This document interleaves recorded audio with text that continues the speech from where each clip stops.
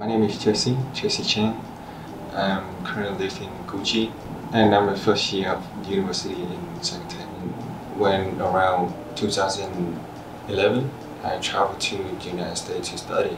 I come back to Vietnam around 2018. I found out about Saigon Tech uh, on the website, on Facebook, and also I have a friend recommended for. In my free time, I usually want to play video game with all my friends, and I can practice my English over the video game. I heard that everyone in the school speaking English, Mm. so I can practice my English pretty well. I heard about a T-Put camp through Saigon Tech uh, Facebook, and I think it's really fun to connect all the students together. When I studied, I wanted to participate in the event again. See you guys in September.